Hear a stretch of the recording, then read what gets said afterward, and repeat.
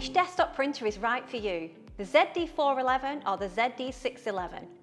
At Zebra, we've designed our printers for your applications, workflows and environments. So regardless of which Zebra printer you choose, you'll get a printer that is durable, secure, easy to use and performs each and every time it's needed. But which of the new Zebra ZD compact desktop printers is the right one for me? Perhaps the first choice is to decide between direct thermal and thermal transfer. Direct thermal is simpler to use, no ribbon, and is great for applications where the label doesn't need to last as long. For example, a shipping label. Thermal transfer uses a ribbon. These labels last longer for applications such as asset tracking.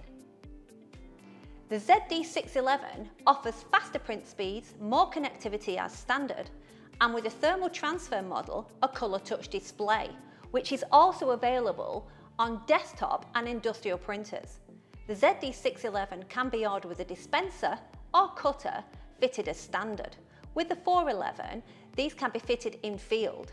Additionally, our ZD611 model also comes available as an RFID model for printing and encoding UHF tags. There is also a version of the ZD611 for printing on linerless media. To find out which ZD printer fits you and your business, check out zebra.com.